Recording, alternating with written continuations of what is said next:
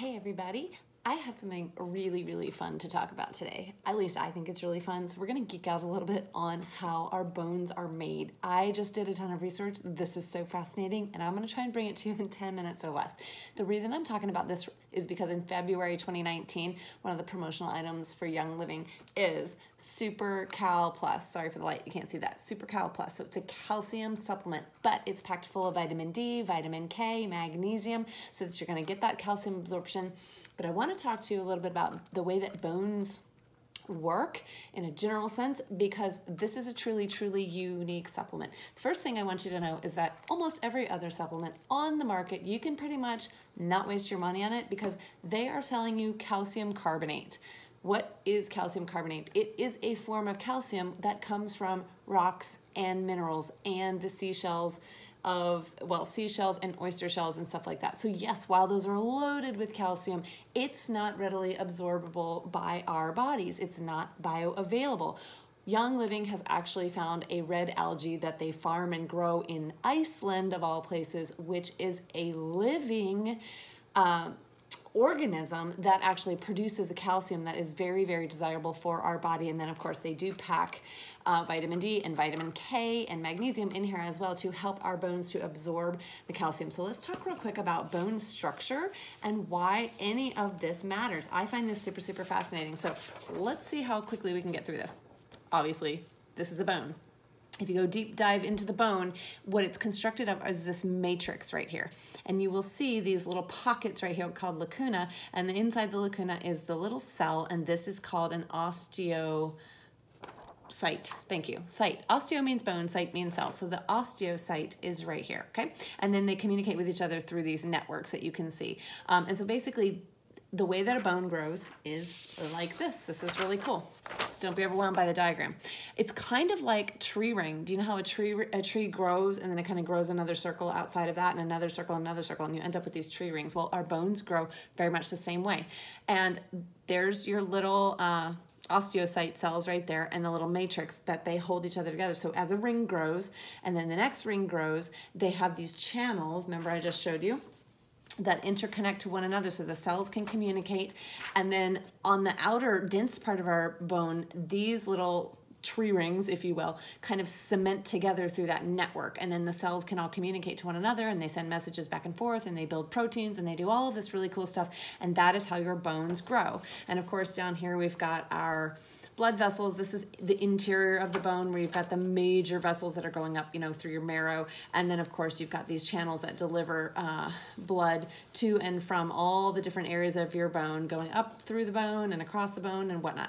But what I wanna focus on are these little rings right here. You can see how like this little canal is growing its rings, this little canal is growing its rings, and they kind of grow and grow and grow together. And that's really great.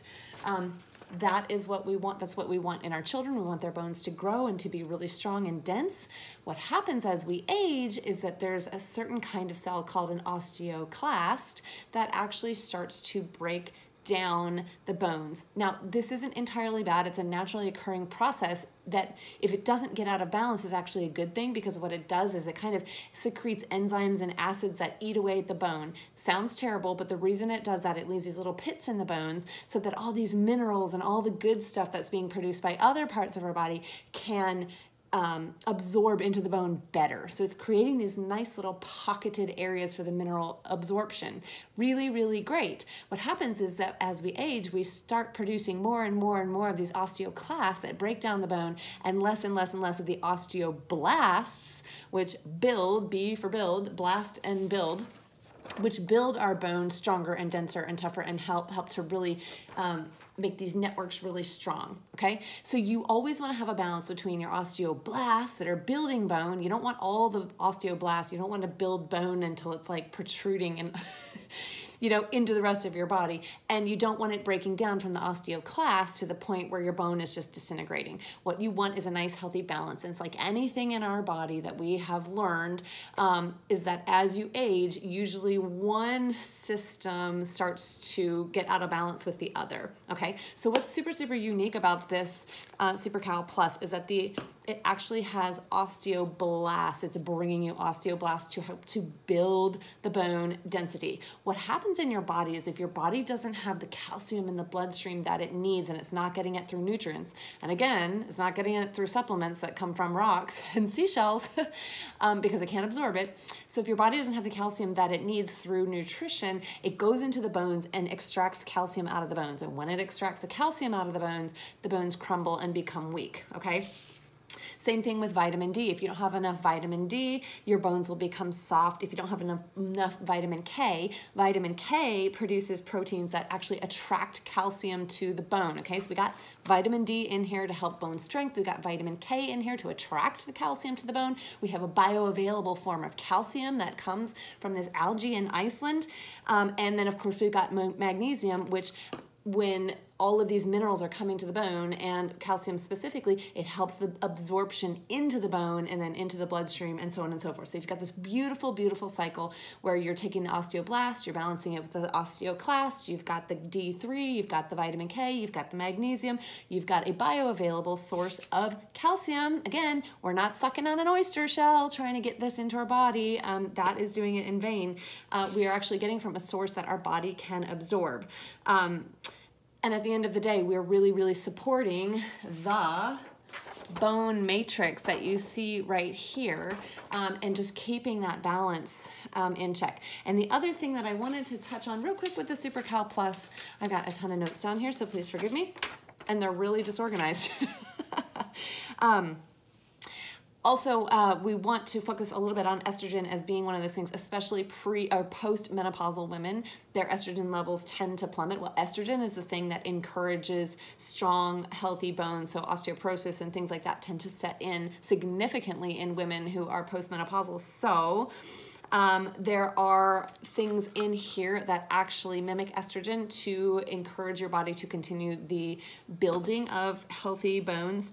Um, that and then this is the um, fermented polysaccharide or black yeast, which is has been studied and found for what we are talking about is called bone remodeling. And that sounds really funny because we think of remodeling our bathroom. Um, but really all that is is that our bones are constantly in a process of dying and bone remodeling is that process that as it's dying, you're constantly doing a regeneration. So replacing the old cells with the new. So we love and want to encourage that process. Um, and there's lots of different things in SuperCal Plus that all work synergistically together to make sure that process is ongoing. This is a daily supplement, two to four capsules. Recommended dose is two. I know people who take up to four on a daily basis. So this is something you're gonna wanna put in your essential rewards and have it every single month because you're not just getting a calcium that comes from a rock you don't have to go suck on some limestone to get the calcium that's not going to absorb into your body anyways, right? All of these things are working in this incredible way to continue this bone remodeling process that our bodies are naturally doing. It's just that as we age, the remodeling process tapers off and it really ends up being more of a degeneration process. We don't want that. We want to support ourselves and we want to start it now while we are still young enough and strong enough. Um, and get into a regular routine of maintenance so that as you continue to age and you see the tipping scale and the balance fall off, you are actively seeking to bring that balance back. Now, other food sources that do have high calcium that is bioavailable, broccoli and green kale. So love yourself some deep dark greens, but you're still probably not going to get a, eat enough broccoli or enough kale to maintain that balance that your body needs. So get yourself some SuperCal Plus. Put it in your essential rewards and then you guys, you get all these free essential oils because you are buying these amazing supplements from Young Living. It's one really really great benefit of the rewards program. All right, talk to you later.